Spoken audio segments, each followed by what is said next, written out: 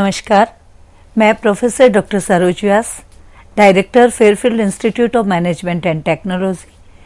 आपके सामने आज फिर आ, हमारी जो लेक्चर श्रृंखला है उसमें उपस्थित हुई हूँ। फिलोसॉफिकल फाउंडेशन ऑफ़ एजुकेशन के स्कूल्स जो हैं उनको लेकर के। फिलोसॉफी में एजुकेशन के साथ साथ में जो वाद हैं स्कूल्स हैं various school of thoughts in philosophy of education and their relevance in education उन पे हम बात कर रहे हैं। हमने इससे पूर्व की जो हमारी व्याख्यान श्रृंखला है, उसमें आदर्शवाद, वास्तविकतावाद, प्रकृतिवाद और अस्तित्ववाद पर विस्तृत चर्चा की थी। आज के इस व्याख्यान श्रृंखला में हम प्रयोजनवाद पे चर्चा करेंगे कि प्रयोजनवाद आखिर है क्या और प्रयोजनवाद को मानने वाले, यानी प्रयोजनवादियों के अनुसार, शिक्षा के उद्देश्य क्या होने चाहिए? पाठ्यक्रम कैसा होना चाहिए? शिक्षण विधियाँ कैसी होनी चाहिए? और किस प्रकार से शिक्षा की व्यवस्था की जानी चाहिए? इस पर हम विस्तृत चर्चा करेंगे। तो चलिए हम प्रयोजनवाद की ओर आगे बढ़ते हैं और जानना चाहेंगे हम कि प्रयोजनवाद जो है, उसके फाउंडर यानी उसके जनक कौन रहे हैं? जॉन डेवी का जब नाम आता है तो फादर ऑफ़ एजुकेशनल फिलोसफी उन्हें कहा जाता है, जिनका जन्म अठारह में हुआ और उनकी मृत्यु उन्नीस सौ बावन में हुई।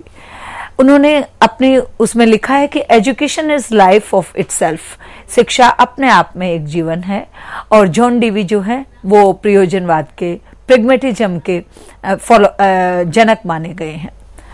प्रेगमेटिज्म एंड एजुकेशन, प्रयोजनवाद एवं शिक्षा।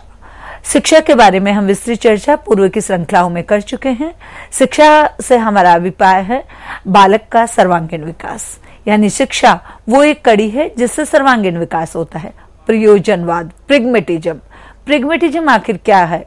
इसका अर्थ जान लेते हैं।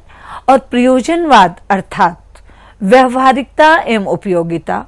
प्रयोजनवाद उपयोगिता के सिद्धांत पर आधारित विचारधारा है। किसी भी कार्य मूल्य, विचार एवं सिद्धांत की व्यक्तिगत और सामाजिक जीवन में उपयोगिता है या अथवा नहीं, ये प्रयोजनवाद में कहा जाता है। प्रयोजन जैसा कि शब्द से ही तात्पर्य स्पष्ट होता है कि प्रयोजन ऐसा कार्य किया जाना जिससे हमारे उद्देश्य जो है, उनकी निश्चित प्राप्ति हो जाए।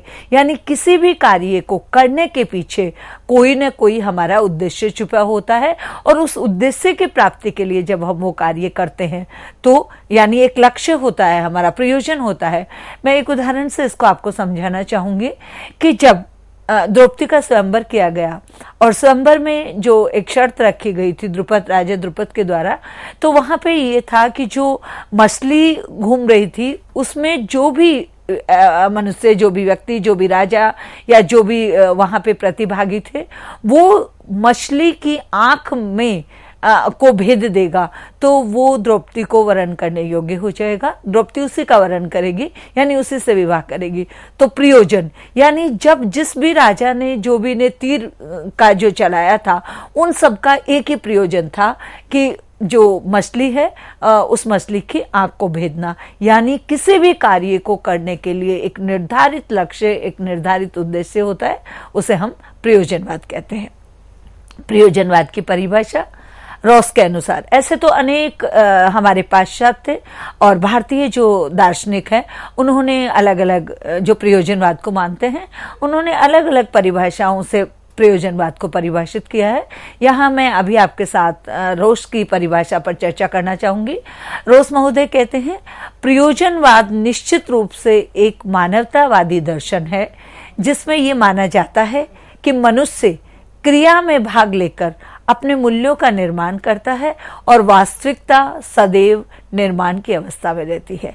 यानी प्रयोजनवाद में निश्चित रूप से एक एक मनुष्य जो है, वो किसी भी क्रिया को किस लिए करता है, अपने क्रिया करता है, उसमें भाग लेता है, वो मूल्यों के निर्माण के लिए करते हैं।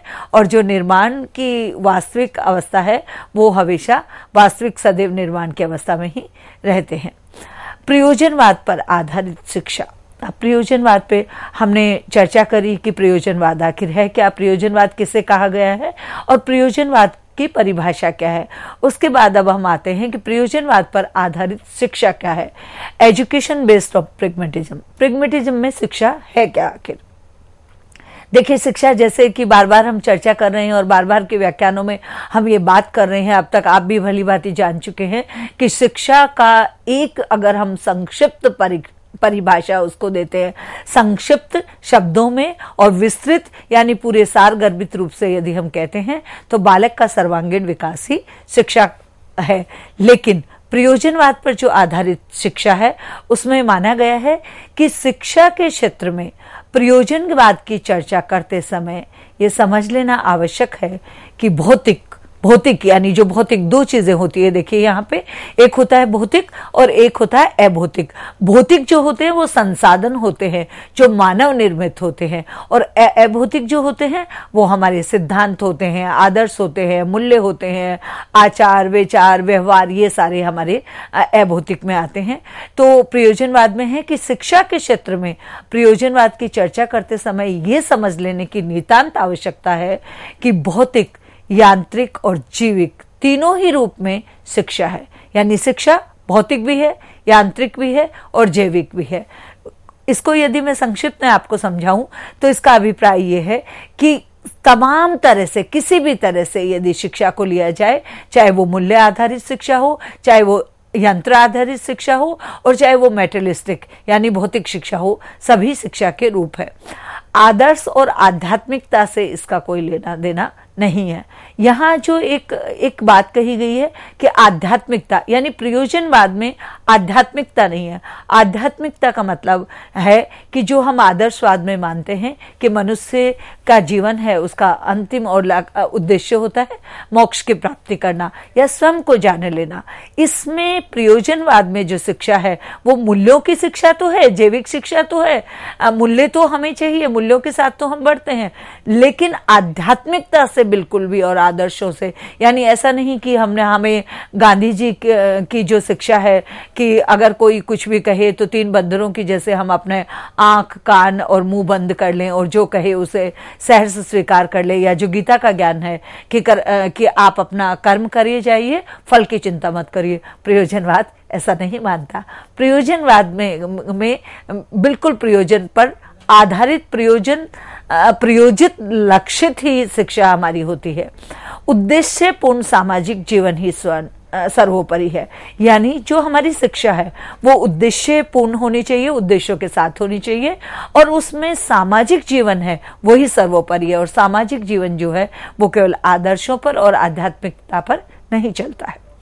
प्रयोजनवादी शिक्षाओं में परंपराओं का विशेष महत्व नहीं दिया गया है। बदलते परिवेश में आवश्यकता अनुरूप शिक्षा का विधान ही प्रयोजनवादी शिक्षा है। देखिए, बहुत बड़ी बात कही गई है इसमें कि प्रयोजनवादी शिक्षाओं में परंपराओं को विशेष महत्व नहीं दिया गया। परंपराएँ जो सदियों से चली आ रही है। देखिए, शिक्षा की जब हम बात करते हैं तो हम सबसे पहले वैदिक काल की बात करते हैं, उसके बाद मुस्लिम, मुगल पीरियड या मुस्लिम काल की बात करते हैं, फिर ब्रिटिश काल और आधुनिक काल और अब इक्कीसवीं सदी के बाल। परंपराएँ परंपराएँ यानी वैदिक काल में जो शिक्षा की परंपरा थी वो अलग थी। जब मुस्लिम काल आया तो वहाँ पे महिलाओं की शिक्षा लगभग लगभग निषेध कर दी गई थी।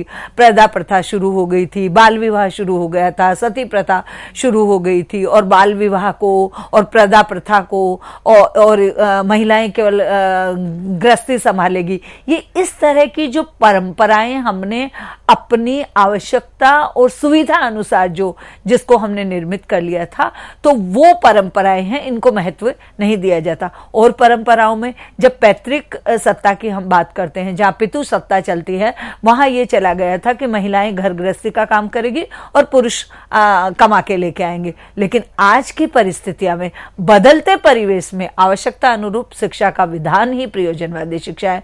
यानी समय बदल रहा है और समय बदलने के साथ साथ हमारी आवश्यकताएँ बदल रही है। और उन आवश्यकताओं के अनुसार हमारी जो शिक्षा है, उसका विधान भी हमने बदल लिया और शिक्षा जो है वो लगभग लगभग हमारी जो एजुकेशन है वो प्रयोजनवादी हो गई है। प्रयोजनवाद के अनुसार शिक्षा होने के बाद में ही आप देखते होंगे कि अगर आज के आप दो दशक पहले की बात करते हैं तो सीधा सा जब कोई बाल, बालक या बालिका छात्र या छात्रा या विद्यार्थी जो है वो बारहवीं करता था तो बारहवीं के बाद में उसके पास तीन ही विकल्प होते थे। विकल्प होते थे कि वो आर्ट्स लेगा कॉमर्स लेगा या साइंस लेगा। आर्ट्स लेगा तो आप आर्ट्स के ह्यूमैनिटीज के सब्जेक्ट पढ़ेंगे साइंस लेगा तो वो डॉक्टर इंजीनियर बनेगा और कॉमर्स लेगा तो वो कहीं बैंक मैनेजर या आ, बाकी सब चीज़ों में किसी कंपनी में मैनेजर बनेगा। यही यानी उस समय हमारे पास में जो थी वो हमारी डिग्री डिग्री जो थी ये इस तरह की हमारी वो थी। लेकिन आज जो है, जैसे जैसे हमारी आवश्यकताएँ बदली और परिवेश बदला, आवश्यकता बदली, वैसे वैसे शिक्षा पूरी तरह से क्या हो गई है? व्यवसायीकरण शिक्षा का हो गया है। और व्यवसायीकरण में आज जब बालक ट्वेल्थ पास करता है, बारहवीं की परीक्षा देता है तो बारहवीं की परीक्षा के पास उसको तमाम तरह के उसके पास विकल्प है। विकल्प यानी वो बारहवीं करने के बाद उसके पास केवल ये नहीं है कि डॉक्टर, इंजीनियर, टीचर या को, बैंक मैनेजर या यही वो बनेगा। आज उसके पास में इतने सारे कोर्स है B B A B C A B G M C B L L B B A को उसके बाद में आपका बी टेक और आ, आ, तमाम तरह के उसके पास कोर्स है और उन कोर्स को करने के बाद वो एक व्यावसायिक ट्रेनिंग करता है और ये सोच करके वो उस पाठ्यक्रम में प्रवेश लेता है कि उसको इस इस पाठ्यक्रम में प्रवेश लेने के बाद ये डिग्री लेने के बाद तीन साल का या पाँच साल का जो भी वो उसका पाठ्यक्रम रहेगा उस डिग्री को लेने के बाद वो पर्टिकुलर अपनी रुचि के अनुसार किसी व्यवसाय में उसको नौकरी आराम से मिल जाएगी। लेकिन आज के ती, ती, तीन दशक पहले की बात करें तो शिक्षा जो है वो पूरी तरह से ये नहीं था कि केवल नौकरी के लिए या व्यवसाय के लिए शिक्षा की जा रही है। अब हम आगे बढ़ते हैं और इसमें हम देखते हैं importance of education according to pragmatism प्रयोजनवाद के अनुसार शिक्षा की महत्ता, यानी शिक्षा का क्या महत्व है प्रयोजनवाद के अनुसार। सबसे पहले हम बात करेंगे कि प्रयोजनवाद है, उसमें बालक की सक्रिय या सक्रियता पर बल दिया गया है। प्रयोजनवाद में जो शिक्षा का महत्व है, वो बालक की सक्रियता, यानी चाइल्ड एक्टिविटी बालक को अधिक से अधिक सक्रिय रखा जाएगा। बालक जो है, वो विद्यार्थी जो है, वो अधिक से अधिक से अधिक एक्टिविटी में शामिल होगा। क्यों होगा? क्योंकि 21वीं सदी में और प्रयोजनवाद में जो शिक्षा की दूरी है, वो विद्यार्थी के इर्द गिर्द घूमती है। प्राचीन काल में शिक्षा जो थी, वो शिक्षक शिक्षा के केंद्र में शिक्षक था और वर्तमान काल में शिक्षा के केंद्र में बालक है। तो बालक की रुचि, बालक की अभिरुचि, बालक का, की बुद्धि लब्धि बालक की आवश्यकता और इन सबको ध्यान में रख करके उसे अध्ययन, वो अध्ययन अध्यापन कराया जाता है, उसे शिक्षा दी जाती है। और ऐसी शिक्षा में बालक का, की एक्टिव, जो सक्रियता है, उस पर बल दिया जाता है, चाइल्ड एक्टिविटी विशेष महत्व रखती है। दूसरा है इसमें विद्यार्थियों और शिक्षाओं, शिक्षकों को समान अवसर एवं स्थान, यानी प्रिग्मेटिज्म है। वहाँ पर विद्यार्थी और शिक्षक को समान अवसर एवं स्थान प्रदान किया जाता है। जब हमने आदर्शवाद पढ़ा तो आदर्शवाद में जो गुरु ने जो कह दिया, वो बिल्कुल अंतिम सत्य था। हमने वास्तविकतावाद पढ़ा तो वास्तविकवाद में जो रियलिटी है, वास्तविकता है, जिसे हम छू सके, देख सके, वही है। अस्तित्ववाद जब हमने पढ़ा तो हमने देखा जिस चीज़ का अस्तित्व है, उसमें यानी अध्यापक और शिक्षक है तो ठीक है, उनका अस्तित्व है तो वो चल रहा है। और प्रकृतिवाद पढ़ा तो प्रकृतिवाद में बालक को बहुत ज़्यादा विशेष महत्व महत्व दिया गया था, उसको अवसर दिए गए थे, क्योंकि जो रूसू है, वो निषेधात्मक शिक्षा के पक्षधर थे और वो बालक को बिल्कुल फ्री छोड़ देना चाहते थे, प्रकृति की गोद में उसको शिक्षा देना चाहते थे। लेकिन जब प्रयोजनवाद की हम बात कर रहे हैं तो वहाँ विद्यार्थियों और शिक्षकों को समान अवसर एवं स्थान प्रयोजनवाद है। और प्रयोजनवाद में जो अध्यापक है, वो अध्यापक भी अपने किसी प्रयोजन की सिद्धि के लिए उस व्यवसाय में आया है। दो प्रकार की जो मुख्य सिद्धियाँ हैं, उनकी हम बात कर लेते हैं कि अध्यापक या तो अध्यापक ने अध्यापन अपना व्यवसाय बनाया है और उसके एवज में उसको उसको अपनी आजीविका चलानी है। और दूसरा ये है कि अध्यापक बहुत ही पैशनेट, यानी जुनून है उसको शिक्षण का तो वो उस जुनून के लिए उसमें आया है। तो और विद्यार्थी जो है, उनके लिए तो शिक्षा का विधान और प्रावधान हमने कर रखा है। तो उनकी रुचि, अभिरुचि, उनकी बुद्धि लब्धि उनको सबको ध्यान में रख करके शिक्षा दी जाएगी। यानी equal opportunities and place for student and teachers प्रयोजनवाद की शिक्षा में की महत्व की जब हम बात कर रहे हैं तो तीसरे पॉइंट हमारे पास में है, शिक्षा की प्रक्रिया समस्या केंद्रित।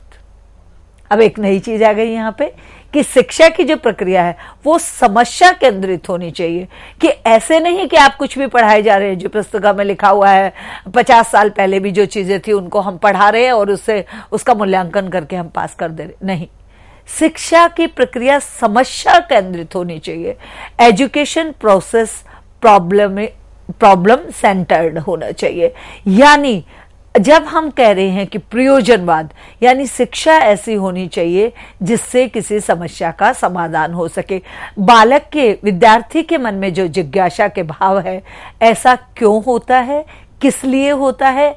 क्या करने से होता है? और इसको करने से क्या होगा? ये जो क्यों, क्या और कैसे? जो मुख्य ये जो तीन कह है, इनको ध्यान में रख करके किसी भी पाठ्यक्रम को, किसी भी इकाई को और किसी भी की जो गद्यांश और पद्यांश है, उनको आप पढ़ाएँगे और समस्या केंद्रित पाठ्यक्रम होगा, ऐसा प्रयोजनवादियों का मानना है।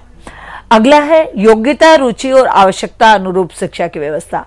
यानी बालक की जो योग्यता है, उसके, उसमें जो योग्यता है, उसकी जो क्षमता है, उस क्षमता को ध्यान में रख करके और बालक को शिक्षा दी जाएगी। समता के बाद में मैं अपनी योग्यता को, योग्यता के बाद में हम बात कर रहे हैं रुचि की।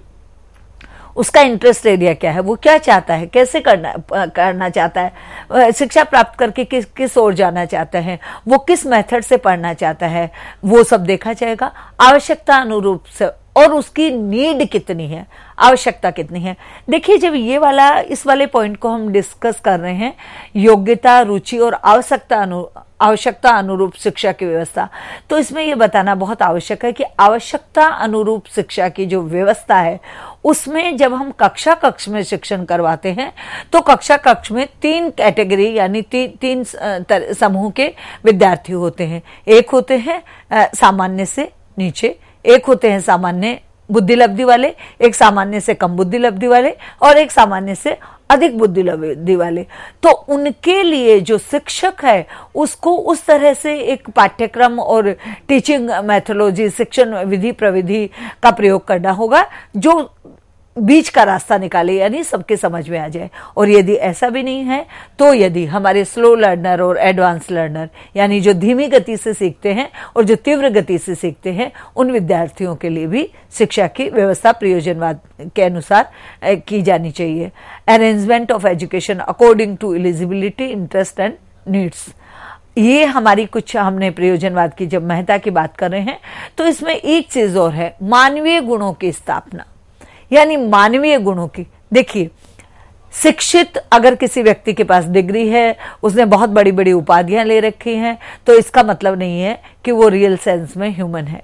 ह्यूमैनिटीज के लिए जो हमने पूर्व के के श्रृंखला में या पूर्व की कक्षाओं में हमने पढ़ा कि ह्यूमैनिटीज के लिए मनुष्य में कौन से करेक्टरिस्टिक्स होने चाहिए, उन करेक्टरिस्टिक्स की जो स्थापना है, उनको उनको, उनमें इनकलकुलेट करना भी मानवीय गुणों की स्थापना करना भी प्रयोजनवादी शिक्षा का, की महत्ता है।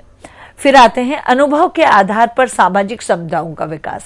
यानी ऐसी शिक्षा दी जानी चाहिए, प्रयोजनवादी को कहते हैं कि development of social capabilities based on experience यानी क्षमताओं का जो हमारा अनुभव के आधार पर जो सामाजिक क्षमताएँ हैं, इनका विकास हो जाए, ये डेवलपमेंट हो जाए, इस तरह की चीज़ें हमारी ये हमारा जो प्रयोजनवाद है, उसमें प्रयोजनवाद के अनुसार शिक्षा की महत्ता पर ये कुछ चर्चा की गई है।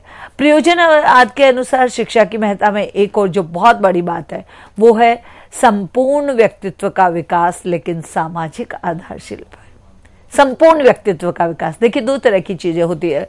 जब हम विकास की बात करते हैं और संपूर्ण, यानी development of entire personality, but on social foundation. Entire जो हमारा एक वर्ड हमने करा एंटायर पर्सनालिटी यानी समुचित जो हमारा व्यक्तित्व है, उसका विकास होना चाहिए, ये प्रेगमेटिज्म के को, के फॉलोवर प्रेगमेटिज्म को मानने वाले, प्रयोजनवाद को मानने वाले ऐसा कहते हैं। लेकिन, कैसे होनी चाहिए?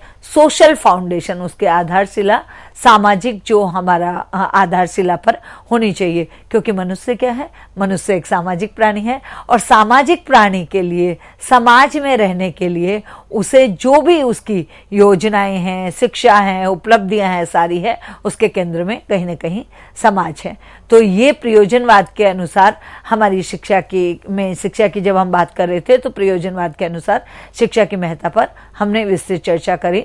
और मैं आशा करती हूँ कि आपको इस चर्चा में ये जो सारी चीज़ें हैं, वो निश्चित रूप से समझ में आ गई होगी। पुनरावृत्ति के लक्ष्य से मैं एक बार फिर से दोहरा देती हूँ। यदि किसी बालक से या किसी विद्यार्थी से कोई पॉइंट छूट गया हो, कोई बिंदु छूट गया हो तो मैं पुनः दोहरा देती हूँ। प्रयोजनवाद के अनुसार मनुष्य शिक्षा की महत्ता। नंबर वन, बालक की सक्रियता, चाइल्ड एक्टिविटी। नंबर टू, विद्यार्थियों और शिक्षकों को समान अवसर एवं स्थान देना।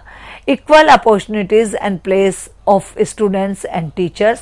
उसके बाद में जब हम आगे बढ़ते हैं तो इसमें हमारा नेक्स्ट जो आएगा नेक्स्ट में हम चर्चा जब करेंगे इसकी तो नेक्स्ट चर्चा के अंतर्गत हमारा आता है कि हमने जो मेहता की बात करी, उसमें बालक की सक्रियता हो गई, विद्यार्थियों और शिक्षकों के समान अवसर और स्थान हो गए। शिक्षा की प्रक्रिया सामाजिक समस्या केंद्रित होनी चाहिए।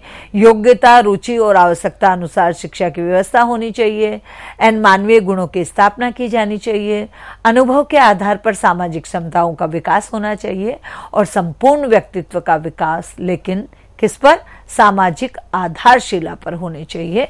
ये कुछ हमारी जो प्रयोजनवाद की के अनुसार शिक्षा है, उसके महत्व को हमने यहाँ पे विस्तृत चर्चा करी है।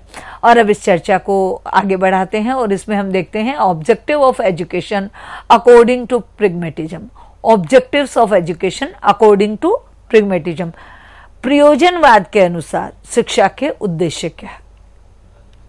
डेवलपमेंट ऑफ़ पर्सनैलिटी सबसे पहले जब हम उद्देश्यों की बात करेंगे तो प्रयोजनवाद में कहा गया है कि डेवलपमेंट ऑफ़ पर्सनैलिटी, व्यक्तित्व का विकास करना। यानी शिक्षा कैसी होनी चाहिए?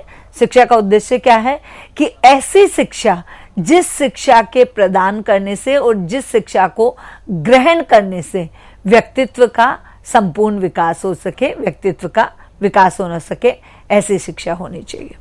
दूसरा हमारा है ओवरऑल डेवलपमेंट ऑफ़ चाइल्ड बालक का सर्वांगीण विकास, यानी जो दूसरा हमारा प्रयोजनवाद के अनुसार शिक्षा का उद्देश्य है, वो है बालक का सर्वांगीण विकास, जो हम शुरू से चर्चा करते आए हैं, और वो आप जो फिलोसफी के स्कूल से इनके किसी भी थॉट को उठा लीजिए।